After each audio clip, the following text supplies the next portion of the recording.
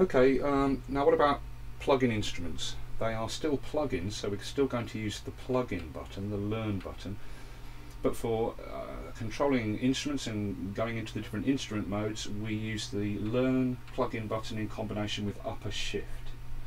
So the first press with upper shift of the plug-in button, the learn button, takes us into instrument mixer view. All first press of the mode buttons takes us into the mixer view. So we're now in instrument mixer view where the pot at the top controls one parameter of the instrument for each channel on the mixer in, in whichever bank of eight you're in. Now we're in the first bank of eight and you can see that by the white line underlining this bank of eight channels in the mixer there. So uh, only the first three channels have got instruments on because I've installed three instrument channels here and tracks okay.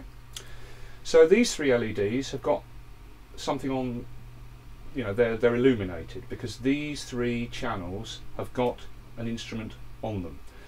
These five channels don't have an instrument, so the LED displays show no light at all and they're blank.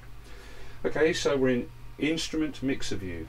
The pot at the top is dedicated to one parameter of the instruments per channel in the mixer and the parameter is opening the instrument. You just press that pot and it will open the instrument for whichever channel you press. So, and that's regardless of which channel is highlighted and selected in the BCF and on Logic's mixer. So for example, I can open my plugin for the second channel by pressing this pot. There you go. The plugin instrument pops up and then the just shifts into instrument channel view with the dot. Okay, now what we don't have, like with the EQ channel view and the plugins channel view, is there is no page number following the dot. Okay? Even though our setup panel still has the display mode set to name. Okay? Okay this is a bit of a bug. We still do have page numbers but they they only occur when you scroll up and down the pages. Okay so I'll show you so we press the pot in instrument mixer view. That opened the plugin for that channel and we're now in instrument channel view and all the pots are controlling the parameters of the open plugin synth in pages okay? And you access up and down those pages the same as for the EQ bands and the same as for the plugin parameters. The plugin effect parameters you use the lower shift and the left and right cursor. So that's page 1 page 2 page 3 and page 4 and that's as far as it goes there are four pages of control parameters for the EVP88. And now you see when you step up and down the pages using the lower shift and cursor left right you do get the page display. But sadly it doesn't stay there once you finish stepping up and down the pages. That is a pain but that's just how it is I'm afraid. Okay and then to close the instrument after you've you know tweaked the parameters hold down upper shift and press the plug-in an instrument button again, the learn button, where you go back to instrument mixer view. Okay, so instrument mixer view and pressing the illuminated pots for the particular channel. That's one way of opening your instrument into plug-in instrument channel view where you're editing the controls with the top pots. The other way of opening your instrument is to go straight into instrument channel view okay, from any of the different modes, either plug-in mode, EQ mode or fader and pan or even send mode when we get to that.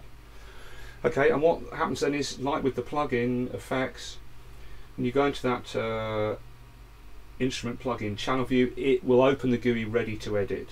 Okay, and the plugin instrument that opens is the one on whichever track is selected, or whichever channel on the mixer is selected when you go into instrument channel view.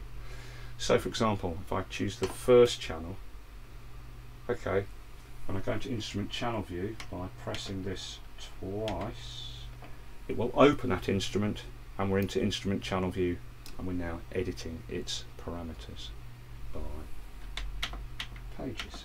Okay. That's another way to open your plugin instrument. Whichever way you use to open the instrument once it is open and you're into this instrument channel view where you're controlling the parameters by page and the plugin GUI is open, you can then change to any other mixer channel that's got an instrument on it and the GUI will update and the BCR, BCF will update and you're then editing the parameters for that particular instrument on whichever page you happen to be in when you shift to another instrument. Okay. Upper shift and close. Go back to instrument mixer view. Okay, so that's the two different modes for opening your instruments and how to control the parameters. Again, like with the plugins, it's important to make sure that your setup here, the parameter page shift mode is set to by page so that when you page up and down, you're stepping up eight parameters and eight parameters and down by eight parameters rather than one parameter, one parameter, one parameter, etc. Okay, so let me open the ESM, I mean instrument mixer view, so I can open the ESM by either pressing that part or by selecting that channel and going straight into instrument channel view. And then it pops up and we're editing the parameters. So the parameters, we're on the first page of control parameters for the ESM and the order of the parts currently is starting at the first part mix, glide, cut off, resonance, filter intensity, filter decay, volume decay, volume, and go to the next page of parameters. Then I've got my filter velocity, then the octave.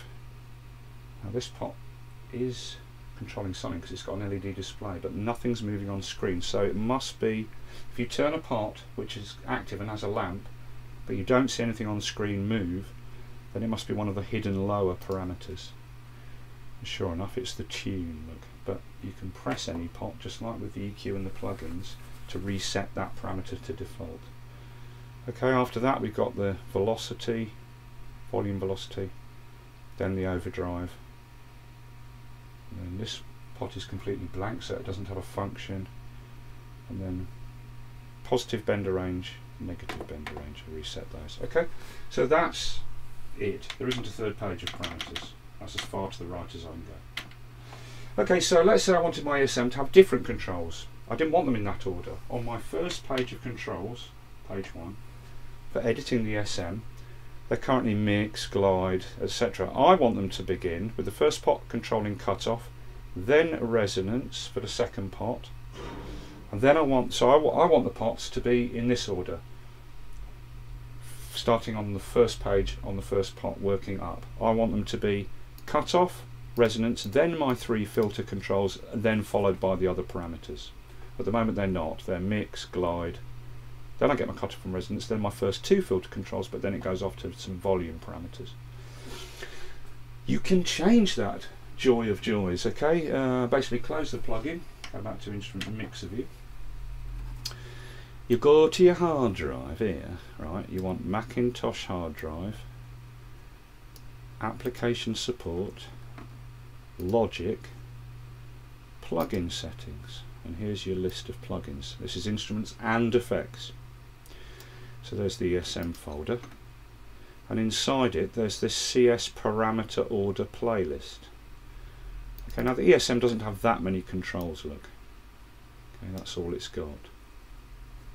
But if you, but even still, I want these to be in a different order. But if you look at a synth like the ES2, this is its parameter playlist of controls. I mean, just look at how many parameters there are.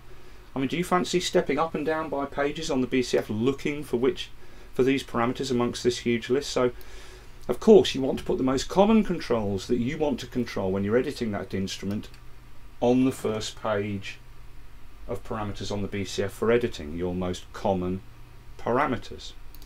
So let's go back to the ESM. I'll open its playlist and I'll drag this off. Okay, there we are, there's the playlist of controls and I'll open the ESM again so they're side by side. I'll just drag this setup out, setup out, out of the way.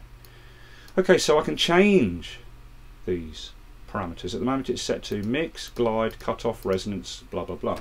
And that's what we've got. Mix, glide, cutoff, resonance. But I want cutoff and resonance to be first. So I chop the mix and glide out, Command X, just move that up one. And I'm going to put the mix and glide after the octave. paste them in. Now I've got cutoff, resonance, filter intensity, filter decay.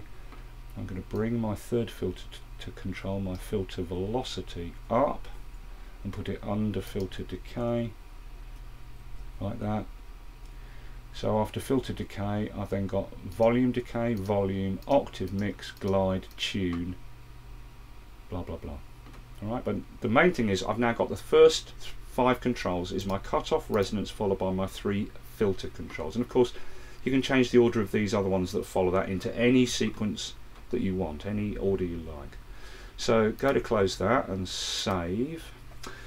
Okay, and now you have to close Logic, so I'll close that plugin. Back to Instrument Mixer View. I'll close Logic now. The whole program, right? Logic, quit Logic Pro. Save. Okay, doke. Now I'll wait for Logic to fully close. Now I'll reboot it.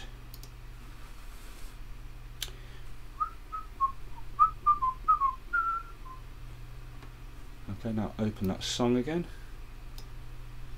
Okay, now one thing you have to do when you've opened Logic freshly is just go to Logic Pro, Preferences, Control Surfaces, Setup, and just make sure, because this doesn't seem to stick, make sure this display mode is set to name, which means that your page numbers will appear, and also just double check that your parameter page shift mode is set to by page and your relative change mode for the pot's fineness is set to fine if you want it fine. Okay, just make sure all that's Okay, so let's now I'll choose the first channel with the ESM on. I'll go to instrument channel view and the ESM opens. And now, will those parameters be in the correct order? I'll bring that ESM playlist over again so we can compare them. This is the new list I've ordered after, and then I've shut Logic and opened Logic again. Has it worked? Yes. Cutoff, resonance, filter intensity, filter decay, filter velocity, as in the list. Cutoff, resonance, filter intensity, filter decay, filter velocity. That's my first five controls, followed by volume, decay, and volume and then my octave and then on the next page I've got my mix glide and the tune which is invisible. The tune's down here. The tune's down here. Tune. Reset. But I can I, you know everything that follows my cutoff resonance and my three filter controls I can also arrange those into any order. After the filter this filter velocity control the the fifth parameter. I could then have my mix, my glide, and my overdrive. You know, whatever I want. Simple as that. So you can change the parameter of which controls will be in your list, stepping up from the first page, first part for every single plugin, absolutely uniquely. And then you just have to save them. And to make that active, you just have to restart Logic.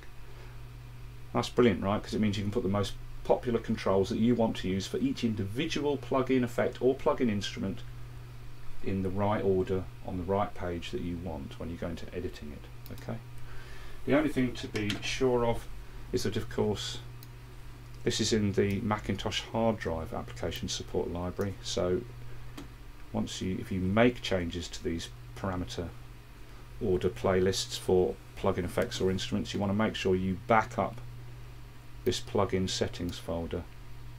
Because if you reinstall Logic this will be overwritten with the library and you'll lose all those settings. So you want to back this up. Just like we backed up our channel strip settings for example if we're creating custom channel strips in the Logic library. Okay? There you go. Instruments. And I hope that's been useful